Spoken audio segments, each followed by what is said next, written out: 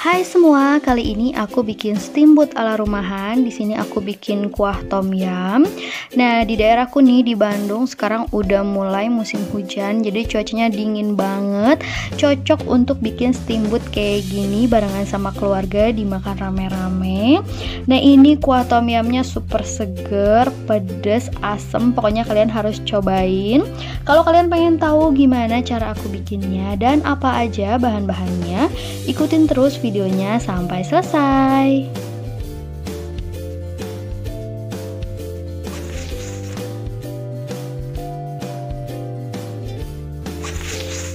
Hmm. Untuk topping steamboatnya itu pilih yang kalian suka sesuai selera kalian aja. Nah ini untuk jamur enokinya aku beli insya Allah yang aman ya. Untuk bahan lainnya di sini aku pakai 300 gram udang yang sudah aku cuci bersih. Nah, ini udangnya aku kasih dulu perasan jeruk lemon atau jeruk nipis. Nah, ini akan aku aduk-aduk hingga tercampur rata dan akan aku diamkan kurang lebih selama 15 menit. Nanti kalau udah 15 menit kita cuci bersih lagi udangnya ya.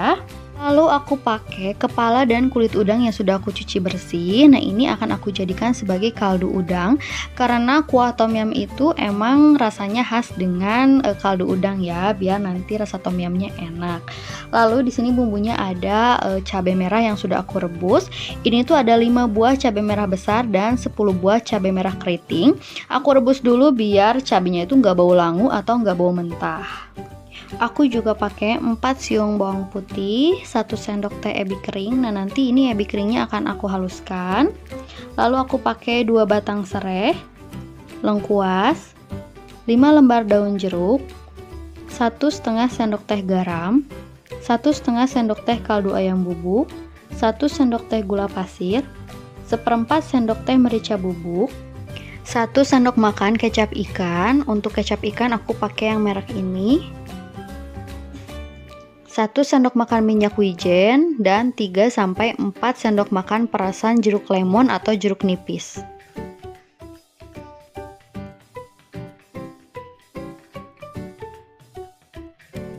Pertama aku akan bikin kaldu udangnya dulu. Aku masukkan air 1 setengah liter.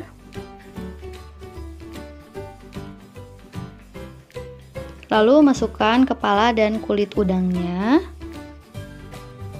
Ini akan aku rebus hingga mendidih dan kaldu udangnya ini harum ya.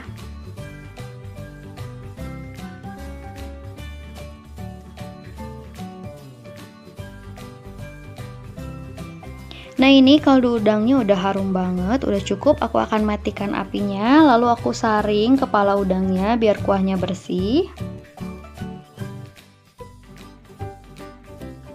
Kaldu udangnya akan aku sisihkan dulu dan kita masuk ke step selanjutnya. Di sini aku akan haluskan cabai merah besar dan cabai keritingnya. Haluskan juga bawang putih dan juga ebi kering. Tambahkan sedikit air. Nah, ini akan aku haluskan dulu ya. Hasilnya seperti ini setelah dihaluskan. Di sini aku udah siapkan sedikit minyak, lalu aku akan tumis bumbu yang barusan kita haluskan. Tumis bumbunya hingga matang dan juga harum.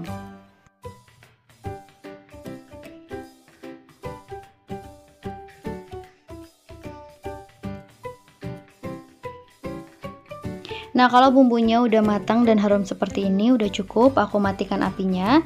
Lalu aku masukkan bumbunya ke dalam kuah kaldu udang.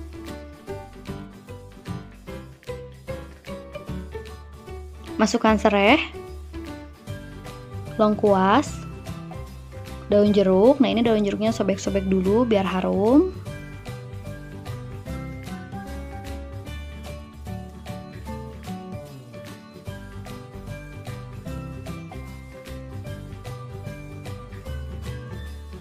Lalu aku aduk-aduk hingga tercampur rata dan biarkan kuahnya ini mendidih.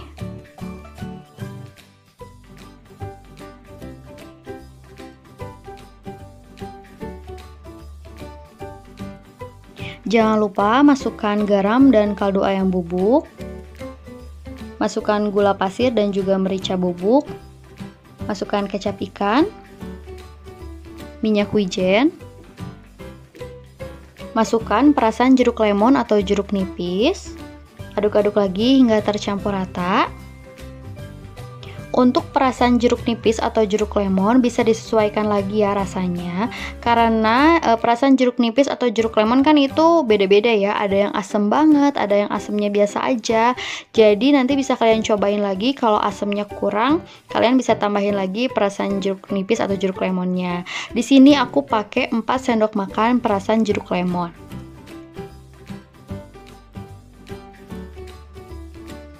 Nah kalau kuahnya udah mendidih rasanya udah enak udah pas Sekarang aku akan masukkan udang. Nah ini udang yang tadi udah direndam dengan air lemon. Aku cuci bersih lagi Lalu kita masukkan ke dalam kuah tom yumnya.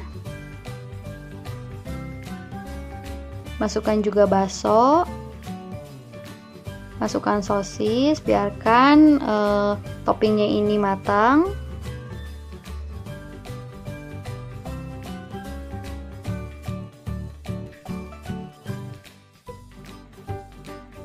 Sekarang masukkan topping-topping yang lainnya.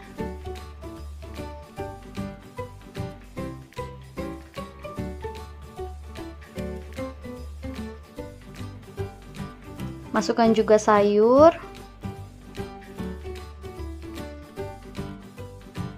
Aku tambahin juga cabai rawit kalau misalnya pengen ada yang lebih pedas. Lalu masukkan jamur enokinya. Nah, ini siap buat disajikan ya. Nah ini dia steamboat ala rumahannya udah jadi. Ini kuah tom yumnya enak banget Super seger, pedas, asem. Nah ini cocok banget kalian bikin saat kalian ngumpul sama keluarga. Semoga kalian suka sama video ini. Jangan lupa like dan jangan lupa juga subscribe buat kalian yang belum subscribe. Makasih